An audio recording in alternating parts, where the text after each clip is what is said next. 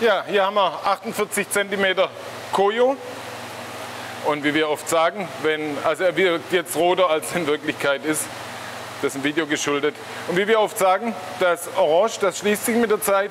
Und wenn man ihn anschaut, wie er noch ausgesehen hat, letztes Jahr im Herbst, da war das noch richtig zerrissen. Und jetzt schließt sich die ganze Nummer langsam.